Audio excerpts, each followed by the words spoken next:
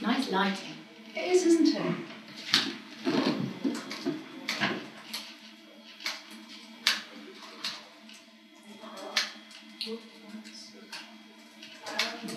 Ah. At what point did you realise that your height wasn't going to stand in the way of your success?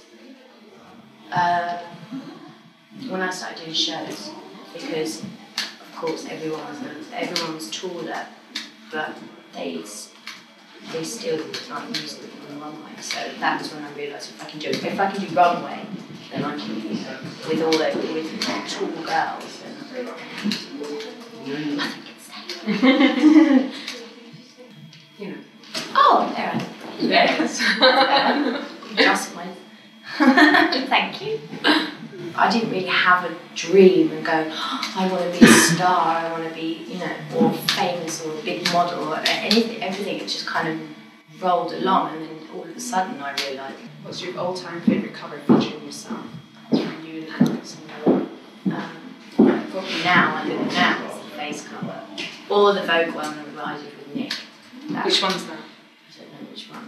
The one That- with you know the- the one with, Yeah. yeah, that one it had to 90, have- that's um, Yeah. June 1997. Yeah, that one. Yeah. Same one. And I, and I think being, being versatile is what makes a good model.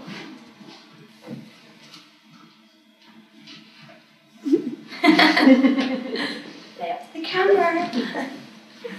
Which photographer do you most like working with and why? Oh, Nick Knight's best. Um, Ooh. uh, no.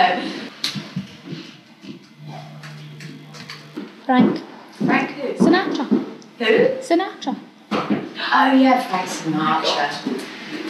Yes. Really? Yeah. Oh, God. Yeah, he was really attractive.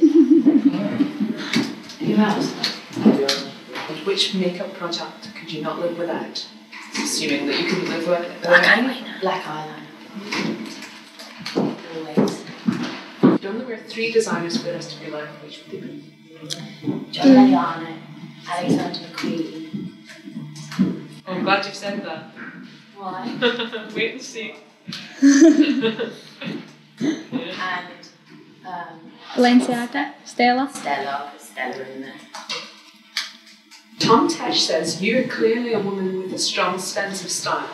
Would you ever consider becoming a fashion editor? He said actually in his message, he said like Grace Coddington. Well, no, I have thought about it. Um, but yeah, maybe let me later. You know. That'd be good. Yeah, no, I do love clothes. it's much harder than it you than it you think. Yeah. It's sort of like loo- looking at that, but actually knowing Sorry, the, to it. Yeah.